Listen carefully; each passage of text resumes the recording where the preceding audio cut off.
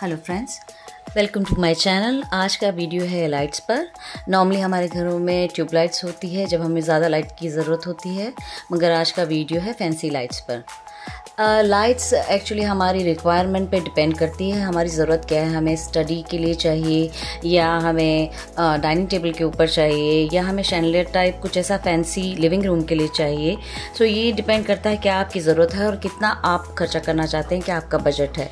उसके हिसाब से आपको सोचना पड़ता है। दूसरा फैक्टर है uh, कि वो क्लीनिंग में ज़्यादा मुश्किल नहीं होना चाहिए क्योंकि जब मैंने एक स्टडी टेबल के लिए लाइट ली थी तो वो फैब्रिक थी और उसे बार बार क्लीन करना पड़ता था और उसका पर्पस भी सॉल्व नहीं होता था कि जिस चीज़ के लिए आप ले रहे हैं वो लाइट वो सॉल्व होना चाहिए वो पर्पस वो स्टडी टेबल के लिए लिया था, मगर उस स्टडी टेबल तक लाइट आती नहीं थी क्योंकि उसका जो फैब्रिक मटेरियल था वो लाइट को रोक देता था।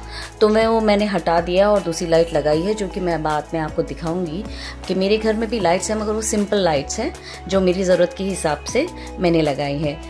तीसरी बात है कि लाइट दो तरह की होती है एक वाइट एक येलो डिपेंड करता है आपकी लाइकिंग क्या है।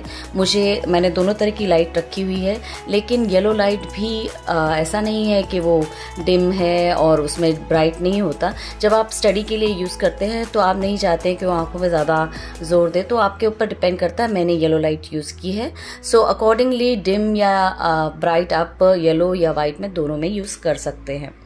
ये आपके ऊपर डिपेंड करता है। आजकल मार्केट में बहुत तरह के हैं, जैसे कि यहाँ पर दिख रहे हैं सारे, ये हैंगिंग लाइट्स हैं सो आपको हैंगिंग चाहिए या आपको फिक्स वाली लाइट चाहिए, वो आपके ऊपर डिपेंड करता है। चॉइस बहुत ज़्यादा है। यहाँ पर जब हम जाते हैं तो हम कंफ्यूज हो जाते हैं। यहाँ पर इतनी सुंदर सुंदर लाइट है, लेकिन आप अपने घर के हिसाब से लीजिए। आपका कैसा घर है, आपको बड़ा स्पेस है तो आप बड़ा लाइट यूज़ कर सकते हैं, लेकिन अगर छोटी स्पेस है तो आपको छोटी लाइट्स यूज़ करनी चाहिए। तो ये है हमारे पियानो है हमारे घर में, उसके ऊपर ये लाइट सीधा डायरेक्ट पड़ती है। ये लिविंग रूम में ऐसी दो लाइट है, जो कि डिम लाइट है, येलो लाइट यूज़ करी हुई है यहाँ पर मैंने।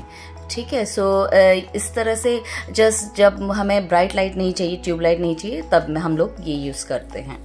फिर उसके बाद ये है हमारे जो वहाँ पर वॉशिंग मशीन रखा है, वहाँ पर ये सिर्फ़ लाइट है तो ये भी येलो लाइट है।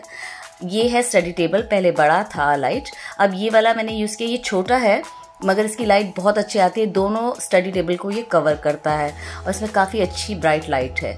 सो so, ये राइट चॉइस थी मेरे लिए। अगला ये जो है, ये है हमारे ड्रेसिंग टेबल के ऊपर। सो हमारे पास दो शीशे, एक हमारे किड्स के रूम में है। उसके ऊपर ये तीन बार लाइट चेंज कर सकता है। तो डिम मीडियम और ब्राइट लाइट है वाइट वाला। सो इस तरह का भी आप ऑप्शन चूज़ कर सकते हैं। कितनी जगह आपको कवर करनी है, उसके हिसाब से। ये हमारे बेडरूम में है डिम लाइट है येलो लाइट जब हमें ब्राइट लाइट नहीं चाहिए होती है, तब हम ये चलाते हैं। ये मेरे ड्रेसिंग टेबल के ऊपर है। सीधा मेरे फेस पर ही लाइट आती है, जब भी मुझे तैयार होना होता है तो ये लाइट मेरे लिए काफ़ी है और काफ़ी ब्राइट है।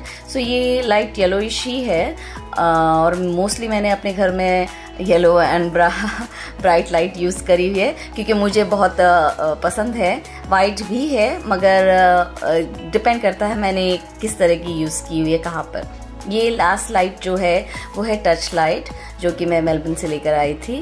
ये वैसे साइड टेबल की लाइट है मगर अभी साइड टेबल नहीं रखा हुआ है तो इसको मैंने ऐसे ही एक टेबल पे रखा हुआ है। तो ये भी टच लाइट है, जो कि हम टच से इसको चेंज कर सकते हैं। तो ऑन एंड ऑफ़ ये टच के जो नीचे इसका पैनल है, उसको छू के होता है।